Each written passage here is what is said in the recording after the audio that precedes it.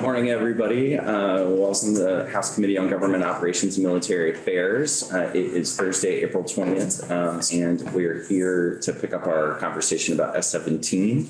And I want to welcome the Washington County Sheriff. So would you like to introduce yourself for the record? And Absolutely. Good morning, everyone. My name is Mark Coolin. I know most of you from my time here in this building. Um, I am the newly elected Washington County Sheriff.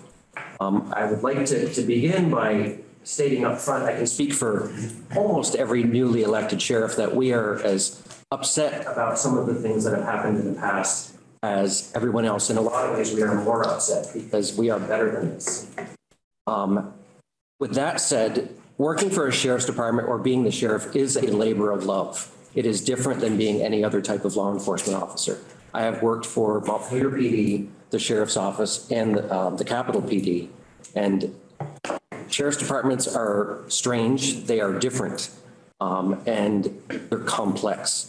With that said, after watching what happened yesterday, all the testimony in your discussions with the new draft coming, I'm going to defer my majority of my testimony until after we can see that because I'd like to testify to, to what is going on currently.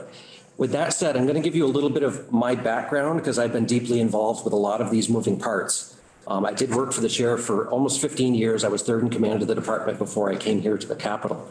While I was there, um, I was in charge of all the details outside of patrol. So I dealt with all the um, property move outs and restraining orders. I was in charge of the court staff. I was in charge of all the details that made the department money.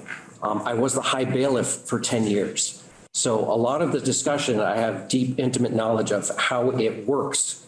So with that said, if you have questions about that stuff or questions for a new sheriff, I would love to answer those for you at this time, but defer my commentary until after I, I see the updated version. So how can I help you with that said? Representative Higley, go. Sure, I've got a question. It was uh, spoken to, uh, I believe it was from um, Senator Norris in regards to his new position as a sheriff right off and how um, hard it was for him to not be able to, from the time he got elected to the time that he started to serve, uh, look at anything that, uh, you know, went on in the department and all that sort of stuff. So he came into it cold. So I guess I just ask you what you found and if there's any way that we can make that an easier transition for you. So the, the previous sheriff, sheriff and I, I would consider him a friend. Um, he helped me get into law enforcement. We have that kind of relationship. So our transition was about as seamless as you possibly could get. Um, we didn't get into the deep financials leading up to it because I was already aware of it. But anything I needed, he would be there. He would take care of a lot of the transition stuff. I would ask questions. He would answer it. We sat down with bookkeeper. We worked together to go to the banks to transfer everything over. It was about as seamless as you could possibly hope for. Um, I have kept him on the rolls as a deputy because one, he wants to work. And two, uh, we've kept his state email and his department phone and things of that nature because there's still stuff that pops up that he's getting emails for that, oh, we forgot this, we forgot that. So both of us being reasonable people, it, it's a team effort and it's been perfect. Um, to improve it, obviously, it's not that way with all departments. Um, there isn't any training for a new sheriff. Four of us uh, recently elected went to the National Sheriff's Institute a couple weeks ago, which was at the FBI Academy, which is high level leadership uh, um, and training for sheriffs specifically. This is on the national level, um, which doesn't necessarily apply to specifically the Vermont, but that is the only sheriff specific training available, period.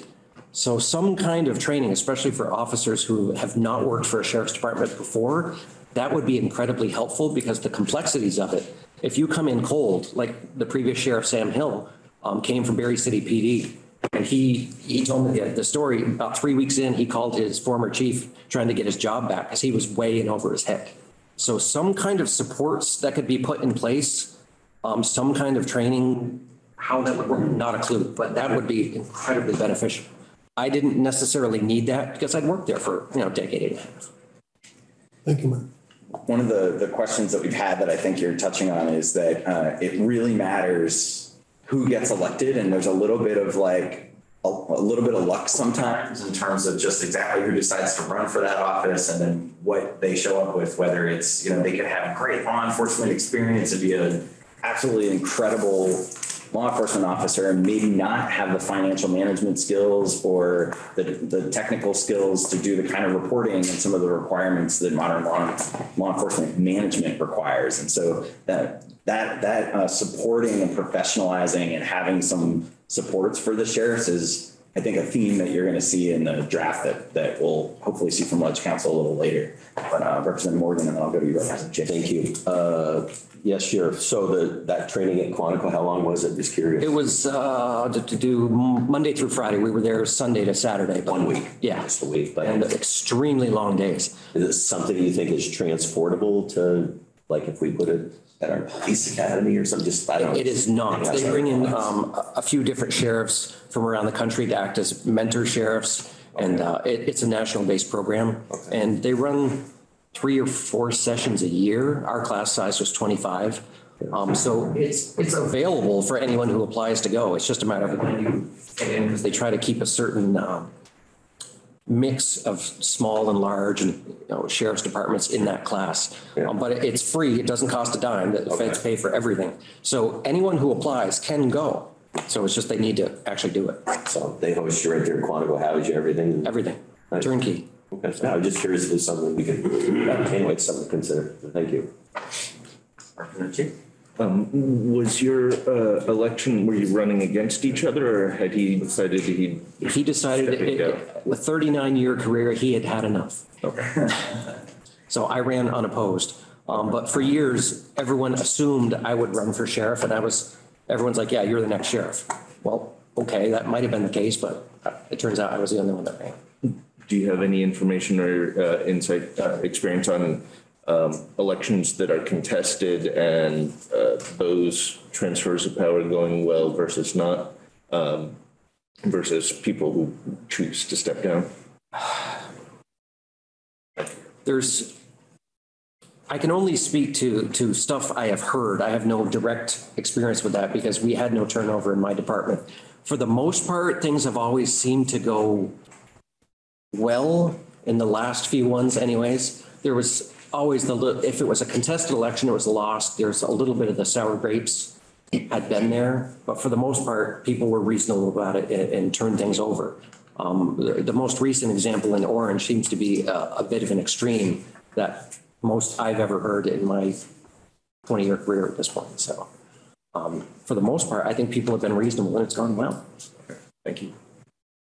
And the, just to clarify that it, it did seem like there were, there were eight or nine new, newly elected chairs. Eight, Like yes. most of those transitions seemed to go smoothly without incident. I think the, the one that you mentioned, if I'm not mistaken, the incoming sheriff uh, announced that they were sort of taking over the administration of the office prior to February 1st. is- If I remember that story correctly. So I am friends with both the new sheriff and the former sheriff.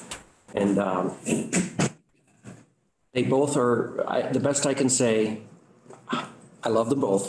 They were both in the wrong and they both needed to put on their big boy pants. Fair enough. I- We will not press you on, on that. I just wanted to make sure the committee knew what you were referring to here.